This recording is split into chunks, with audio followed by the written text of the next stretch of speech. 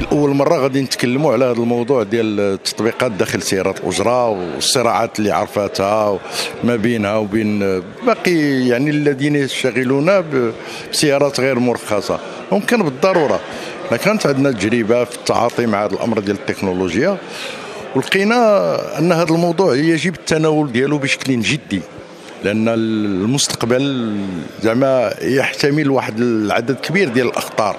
في حالة عدم التدخل ديالنا كنقابة من أجل تأطير هذا هذا الموضوع ديال التكنولوجيا والأهمية ديالو لأن مسألة التكنولوجيا اليوم التحصيل الحاصل جاية يعني كاينة فرضات راسها وقاست واحد العدد كبير ديال المجالات من ضمنها بالطبع مجال النقل.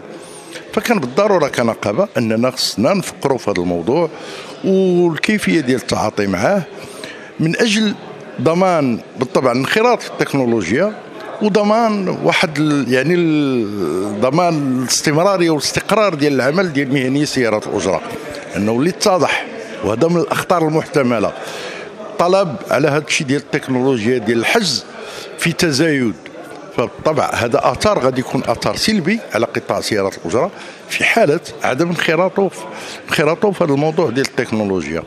دونك هذا اليوم الندوه استدعينا مجموعة من الخبراء من أجل إبداء الرأي ديالهم وبينوا الأهمية ديال التكنولوجيا من أجل في اتجاه تأهيل وتطوير ديال القطاع والانخراط وهنا كيجي الشق الثاني من العنوان ديال ديال الندوة اللي هو الانتقال العادل من أجل الحفاظ على مناصب الشغل اللي كاينة. وأكيد راه غتفتح مناصب أخرى.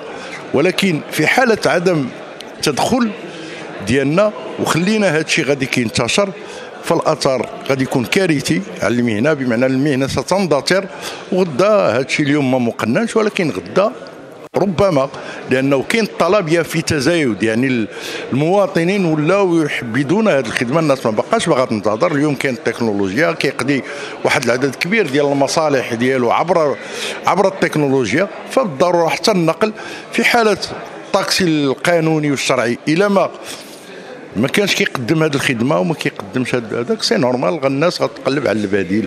وهنا كيف قلت لك غادي يكون ديتار ديال ديال القطاع ديالنا وهذا ما يسمى بالانتقال الغير العادل. donc العنوان ديال تحول التكنولوجيا حنا كيفاش غادي نواكبوا كيفاش غادي نخرطوا من أجل الحفاظ على مناصب الشغل ديالنا وفرص تاع العمل اللي كيتيحها قطاع سيارات الاجره وبهذا الشكل يكون انتقالا عادلا.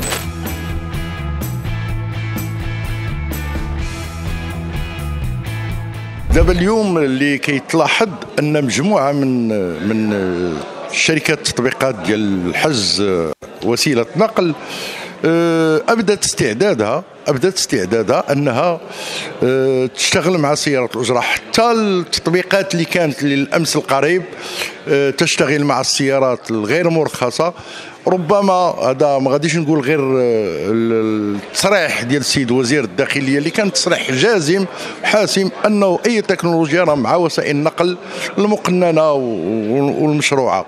دونك دركوا هذا الأمر. اليوم راهم منفتحين باش يشتغلوا ويساهموا في التأهيل ديال القطاع وانخراطوا في هذا الشيء ديال التكنولوجيا. وراه حاضرين معنا تقريبا جوج شركات اللي غادي يقدموا عروض ديالهم وشنو المساهمة ديالهم. ماشي المسألة ما غناخذوهاش غير من زاوية تجارية محضة يعني جايين باش يستثمروا باش يوفروا واحد الوسيلة ديال الحز بل المساهمة ديالهم في التأهيل ديال المهنيين تكوينهم آه، يعني في, آه، في التأهيل ديالهم ماشي تكوين غير في المجال التكنولوجي بل تكوين في العلاقة ديالهم مع الزبناء في الطريقة ديال السير ديالو في الطريق يعني مجموعة من المحاور في هذا المجال ديال التكوين اللي غادا تكون حاضرة وهما ملتزمين باش يواكبوا هذه العملية هذه